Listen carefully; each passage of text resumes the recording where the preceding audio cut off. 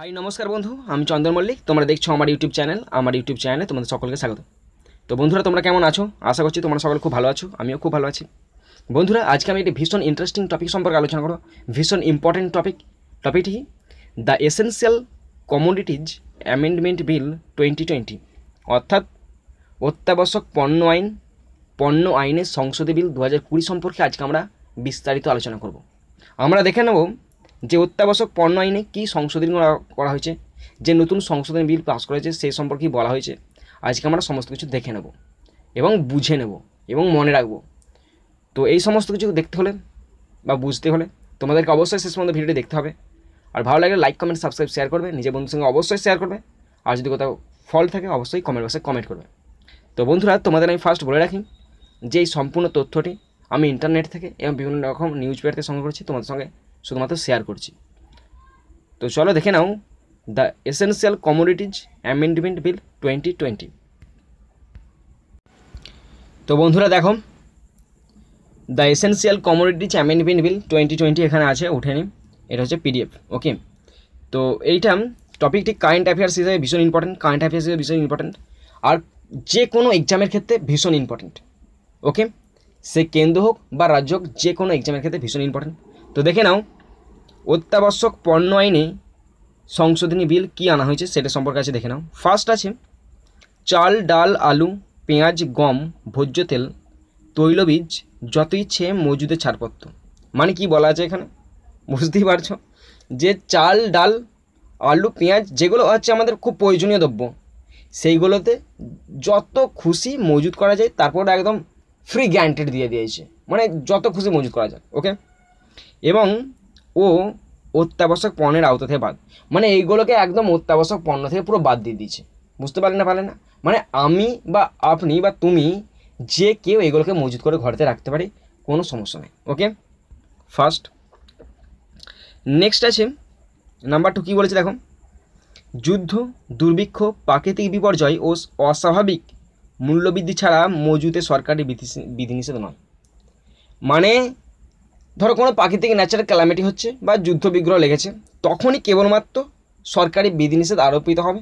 বাকি কোনো ক্ষেত্রে সরকার হস্তক্ষেপ করবে না ওকে নেক্সট নাম্বার থ্রি কী বলা আছে দেখুন। পচনশীল খাদ্যদ্রব্যের দাম স্বাভাবিকের তুলনায় দ্বিগুণ হলে তবেই অস্বাভাবিক বলে ধরা হবে।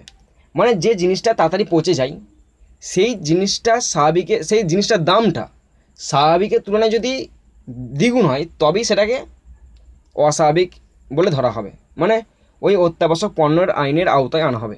আর পচনশীল না হলে দেড় গুণ দাম হবে। বুঝতে পারলেন না পারলেন। তারপর নেক্সট আছে,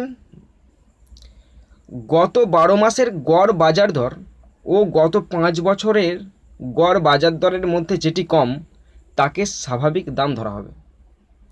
মানে আজ থেকে মানে যেদিন বিলটা পাস হয়েছে, সেদিন থেকে তার আগের পাঁচ মাস অথবা বারো মাসের মধ্যে, তার আগের পাঁচ বছর অথবা বারো মাসের মধ্যে সেই জিনিসটার যে রেটটা বাজারে যে দামটা ছিল, যে কম দামটা ছিল, যে স্বাভাবিক দামটা ছিল, সেটাই তার স্বাভাবিক দাম। বুঝতে পারলে? নেক্সট আছে, ব্রিটিশ জামানায় দ্বিতীয় বিশ্বযুদ্ধের সময় প্রথম, দ্বিতীয় বিশ্বযুদ্ধের সময় প্রথম কালোবাজারি ও মজুদদারি রুখতে আইন জারি করা হয়। মানে দ্বিতীয় বিশ্বযুদ্ধের সময় ব্রিটিশ জামানায় এই সমস্ত কালোবাজারি রুখতে বা মজুদদারি রুখতে আইনটা বলবৎ করা হয়েছিল। আবার তা পরে উঠে যায়। ওকে নেক্সট আছে।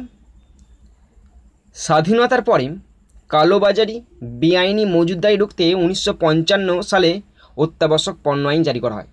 এই এক্সট্রা এইটা তোমাদের আলাদাভাবে এমসিকিউ হিসেবে পড়তে পারে। বুঝতে পারলে?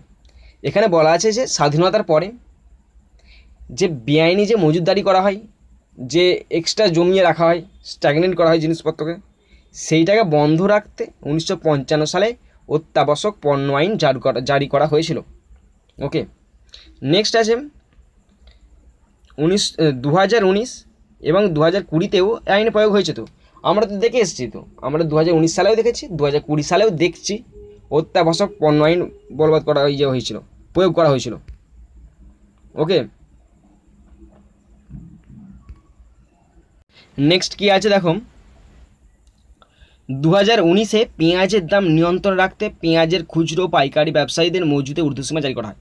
মানে দু হাজার উনিশ সালে পেঁয়াজের যে দামটা মানে স্বাভাবিকের তুলনায় যে দ্বিগুণ হয়ে গেছিল, সেই দামটা নিয়ন্ত্রণ রাখতে পেঁয়াজের দাম, পেঁয়াজের খুচরো পাইকারি ব্যবসায়ীদের মজুদে ঊর্ধ্বসীমা জারি করা হয়। ওকে?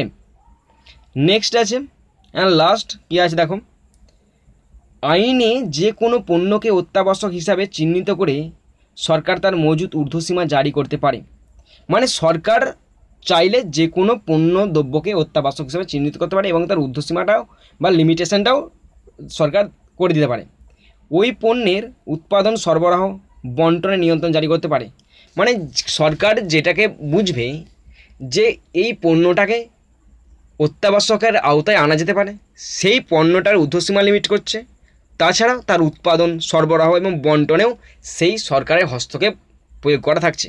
ওকে? তো বন্ধুরা, তোমরা দেখলে অত্যাবশ্যক পণ্য আইনে সংশোধনী বিল কি আনা হয়েছে, সেটা তোমরা দেখলে আশা করি তোমাদের খুব কাজে লাগবে। আর যদি ভালো লাগে লাইক কমেন্ট সাবস্ক্রাইব শেয়ার করবে। নিজের বন্ধুর সঙ্গে শেয়ার করবে। আর যদি কোথাও ফল থাকে, অবশ্যই কমেন্ট বক্সে কমেন্ট করবে। তো তোমরা জানো, আমি এই ধরনের ভিডিও আপলোড করতেই থাকব। থ্যাংক ইউ জয় হিন্দ, বন্দে মাতারাম।